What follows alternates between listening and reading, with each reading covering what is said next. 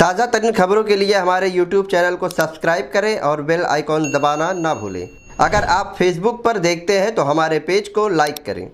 नमस्कार, मैं हूँ फिरोज हाशमी। दीवा में पिछले दो दिन से समाज सेवक अमूल केंद्रे अपने साथियों के साथ भूख हड़ताल पर बैठे थे, जहाँ उनकी मांग है दीवा में बदहाल रास्ता और भी समस्या है। लेकिन फ़िलहाल रास्तों को लेकर भूख हड़ताल पर बैठे थे। दीवा में कई ऐसे इलाके हैं जहाँ पर रास्तों की हालात काफ़ी दयनीय है। ख़ास करके स्कूल के रास्ते काफ़ी दयनीय है। स्कूली छात्र छात्राएँ हर रोज़ दिक्कतों का सामना करते हैं।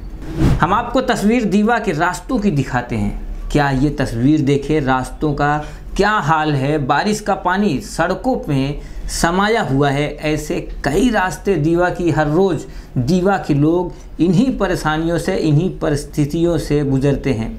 इन सबको देखते हुए अमूल केंद्रे ने भारी बारिश में भूख हड़ताल पर बैठे रहे और दूसरे दिन अमूल केंद्रे को लिखित आश्वासन दिया गया और स्थानीय नगर सेवक शैलेश पाटिल ने भी भरोसा दिलाया है।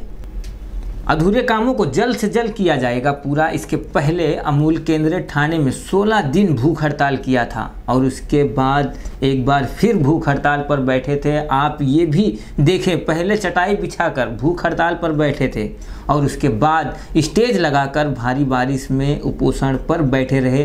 दीवा की अगर हम बात करें तो एक तरफ़ शिवसेना के सत्ताधारी नगर सेवक और दूसरी तरफ़ शिवसेना के महापौर उप महापौर उसके बाद भी दीवा विकास के कामों से वांछित है।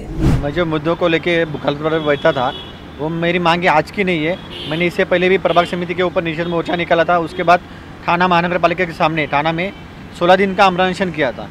उसके बावजूद जो कुछ अधूरी मांगे थी, उनको पूरा करने के लिए मैं आज दीवा में कल से अनशन बैठा था।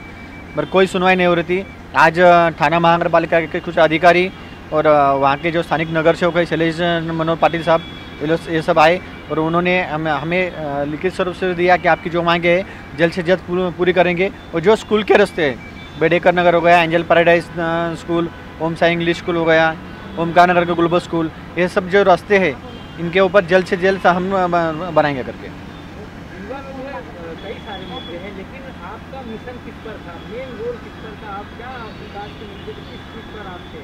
हुए थे, जिसको लेकर आप भूख हड़ताल में बैठे थे?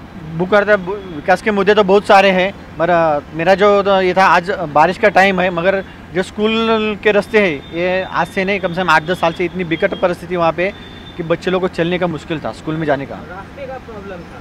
हाँ रास्ते का प्रॉब्लम था। आपने भूख हड़ताल बैठने से पहले परमिशन वगैरह लिया था? हाँ हमने हर जगह से परमिशन लिया था। अच्छा तो अभी आप मतलब कब तक बैठने वाले थे? क्यों रुक गए आप नहीं, मैं तो मेरा अनशन चालू रखने वाला था, मगर आज महानगर पालिका ने उन्होंने ठोस आश्वासन दिया, मुझे उन्होंने लेटर भी दिया कि हम लोग जल्दी से जल्द कार्रवाई करके आज जो काम है दीवा दीवा के रास्तों का हो गया हॉस्पिटल का हो गया, जो जो आपकी मांगे थी, हम जल्दी से पूरी करेंगे करके। और तीसरी तरफ़ अगर देखें तो आमदार सुभाष भोईर भी हैं। वो कितना विकास का गंगा बहाया है, दीवा में ये तस्वीर ही पोल खोलती दिखाई दे रही है। अब रही सवाल उप महापौर मड़वी की तो वो भी दीवा में रहते हैं, वहीं से रोज़ गुजरते हैं। क्या उनको बदहाली रास्ते नहीं दिखाई देते हैं? थाने में सत्ता होने के बावजूद दीवा विकास के मामले में क्यों पीछे है? एक सवाल बना हुआ है और सवाल बना हुआ रहेगा। और इसी के साथ समाज राजनीति से जुड़ी हुई खबरों को देखने के लिए देखते रहे प्रहार टाइम्स।